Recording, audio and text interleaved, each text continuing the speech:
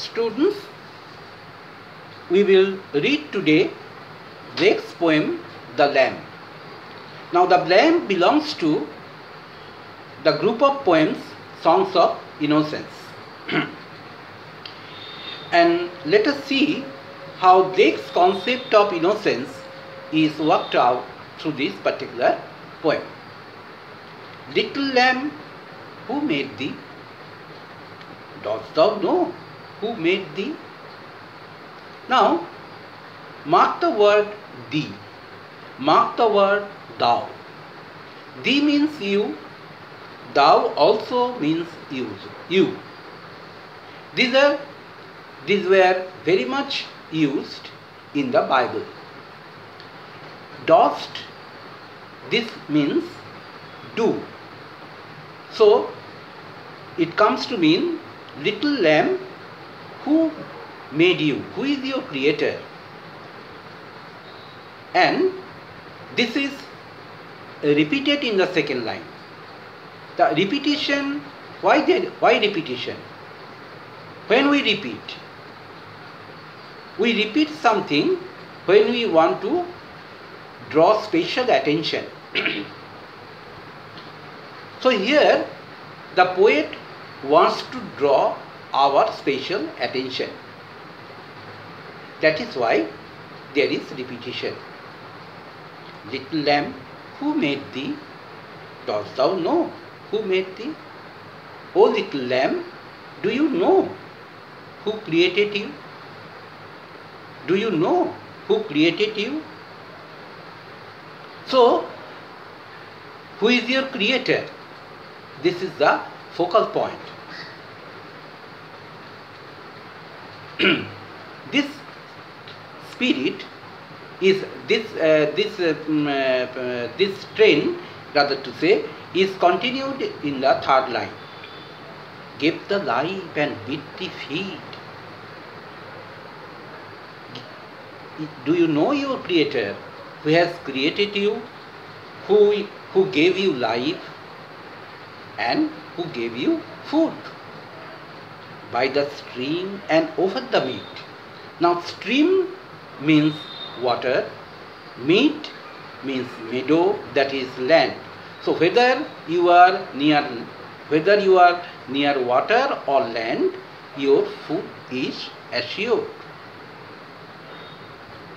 Softest clothing woolly bright. Gave the sorry gave the clothing of the delight. Your creator has offered you a cloth that is your skin he created you in such a way that he would your body would stand all natural increments gave the clothing of delight, softest clothing, woolly and bright. Mark the word delight. God didn't create the lamb mechanically. He assured his creature, his creation, food and clothing. And such a clothing that would make its survival in the world delightful. So the word delight is very important. Gave thee such a tender voice, making all the vales rejoice. Do you, your Creator has provided you a very soft voice. And as it were, it is music. It has a music of its own. And that music covers the entire vale, that is the entire valley. now, mark the word rejoice. Rejoice means feeling joy.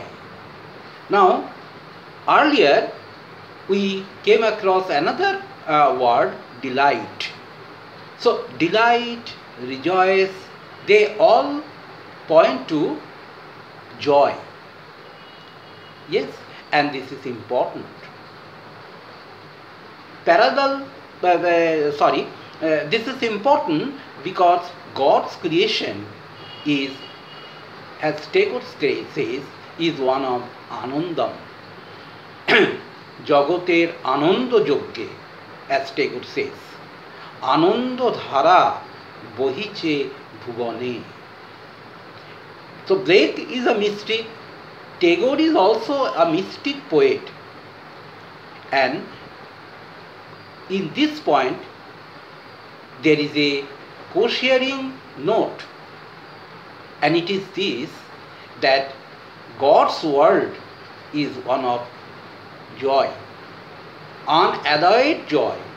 And his, he uh, makes this creature in order to contribute to this tone of joy which is pervading the entire world.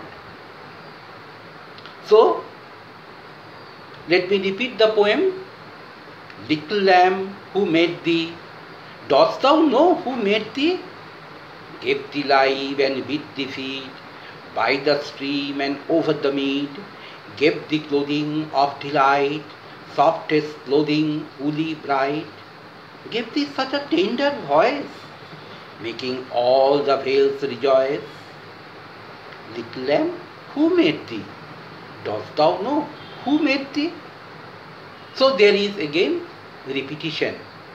The child's, this repetition is indicative or speaks of the child's uh, mm, uh, mm, curiosity to know as to who is the creator of the lamb. little lamb, I will tell thee, little lamb, I will tell thee, little lamb, I will tell thee. Now you know that if I say I shall go, it means I may go. But if I say I will go, it means I must go. So here there is a usage of I will. It means that it means that the speaker will definitely uh, um, uh, uh, tell the, the, the, the, the, uh, the speaker has a definite answer to convey and that is why I will tell thee, I will tell thee. That is, I know who is your creator, I know who is your creator, and I will tell about him. He is called by thy name, for he calls himself a lamb.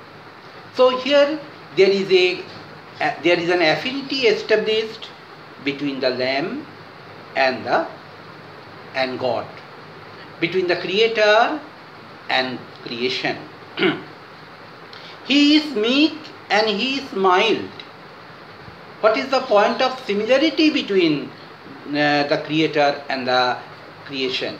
The point of similarity between the creator and the creation is big, is certain values, is certain features, is certain values rather to say. What are they? Meekness and mildness. he became a little child. Further, the child speaker establishes a, an affinity between himself and the lamb. He became a little child. He, bec I, uh, he became a little child. So, it child childhood uh, uh, childhood stage is marked by innocence. In the Bible, child is uh, the, the, the childlike simplicity is very much highlighted. Not only in the Bible, throughout the world, the childlike innocence is highlighted as a very positive value. For he calls himself, yes, he is meek, uh, yes, he is called by thy name, for he calls himself a lamb. He is meek and he is mild. He is mild. So first, the affinity between the lamb and the child, uh, uh, and the lamb and God is established. Then, between the child and the lamb, he became a little child.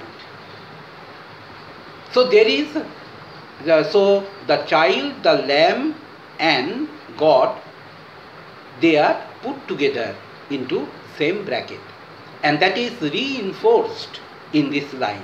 I, comma, a child and thou a lamb.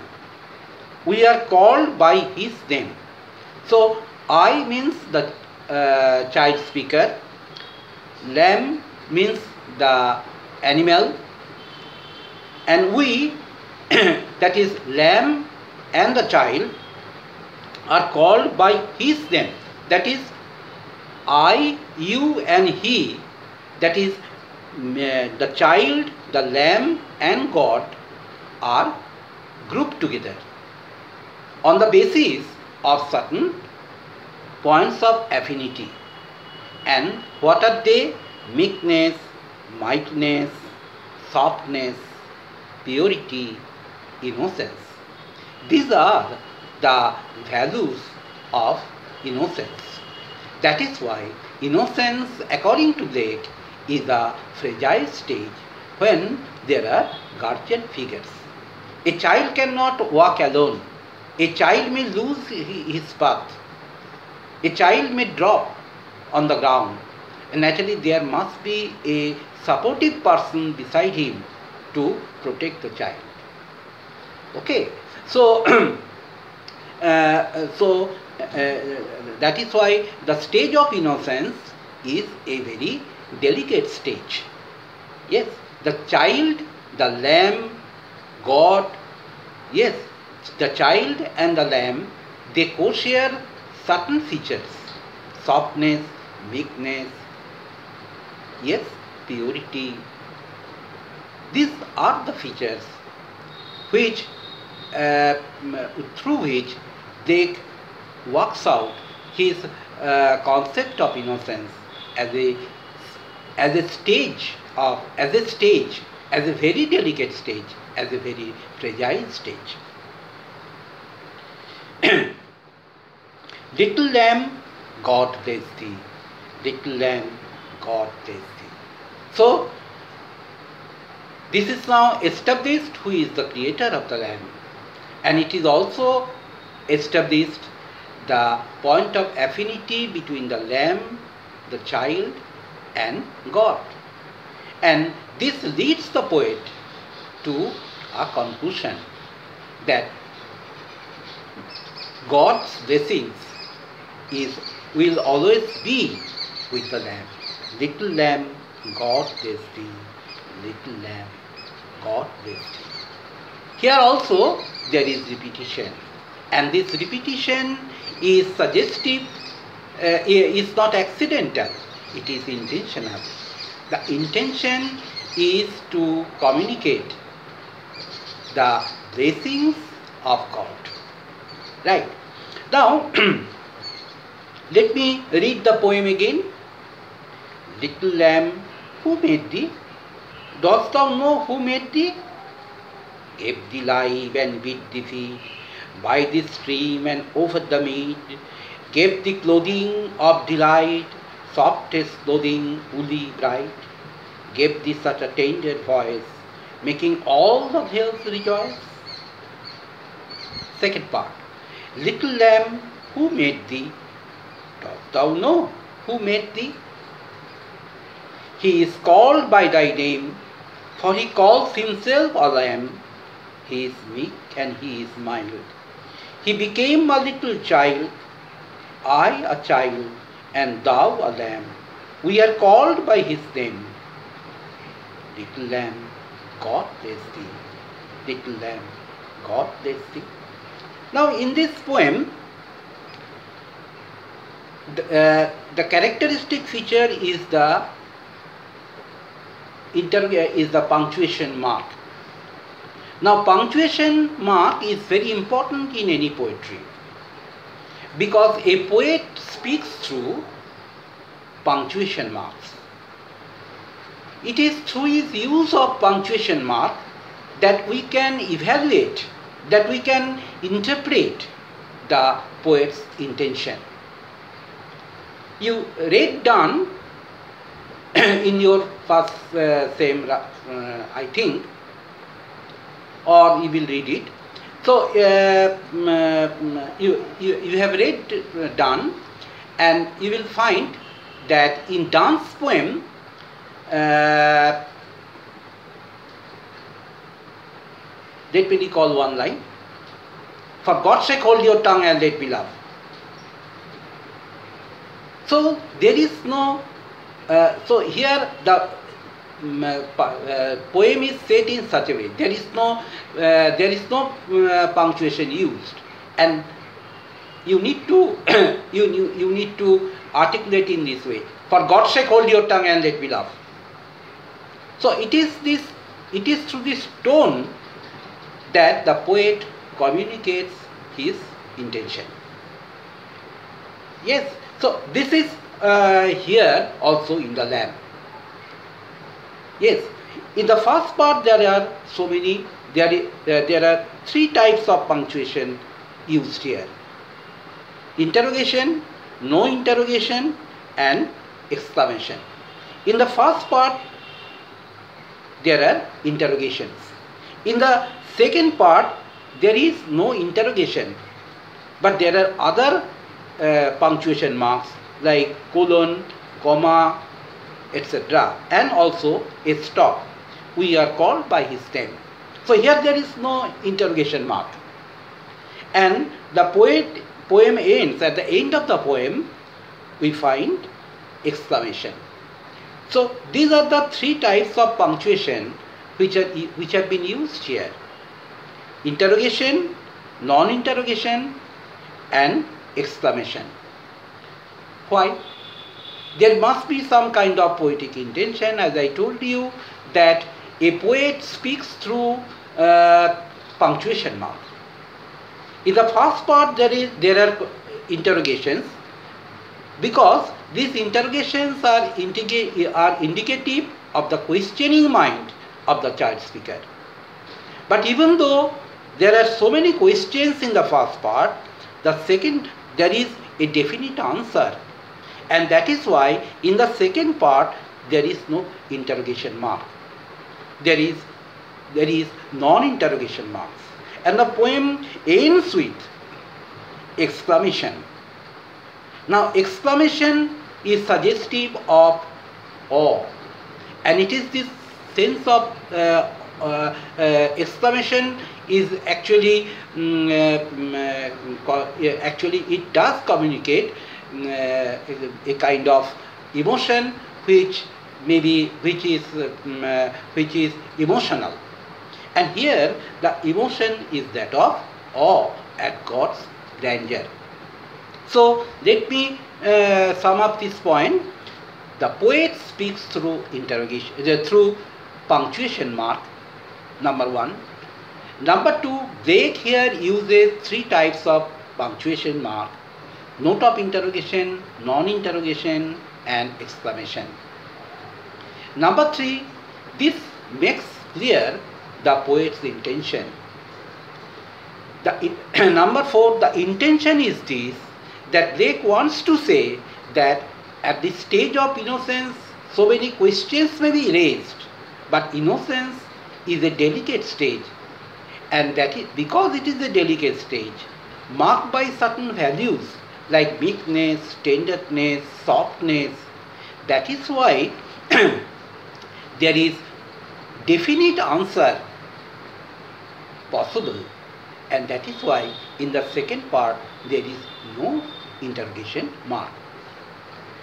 I in course of my talk I also pointed out or we also explored a point that is affinity between Tagore and Blake. Now Tagore is a mystic poet and Blake also is a mystic poet. Let me quote one line of Tagore which is suggest which is indicative of his mystic temperament. রাতের পাখি গাই একাকী সঙ্গীবিহীন অন্ধকারে বারে বারে আমি কান পেতে রই so this is actually a mystic trait and Tagore uh, assimilates or integrates within himself the romantic temperament of the West and the romantic temperament of the East and makes his own poetic language. Yes. So, in this poem, and one sharing, co-sharing features between the Western Romantics and Tagore is this, that is this the faith in Anandam. The concept of Anandam comes again and again in Tagore's songs. আনন্দ ধারা বহিছে ভুবনে this is a very frequent yeah, this is a very well known line of Tagore that is uh, it is actually uh, uh, it is actually uh, um, with this poetic language Tagore and the romantics celebrate the creation of God God's creation is one of anandam, is one of delight, which is unalloyed. And the use of these words like delight, rejoice, as we noted earlier, are indicative of the poetic mind of William Blake. That is a mystic temperament. And it is this mystic temperament that establishes affinity between Tagore and uh, Blake. Or put, to put it otherwise, it, uh, through this poem, through a particular poem, we can uh, explore the like-mindedness of the poets across the across cultures. And it is with this strength we should approach a poem.